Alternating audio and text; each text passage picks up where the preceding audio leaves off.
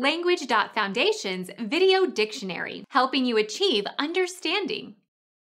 A kind of hedged investment meant to capture slight differences in price. When there is a difference in the price of something on two different markets, the arbitrager simultaneously buys at the lower price and sells at the higher price. Practice arbitrage, as in the stock market.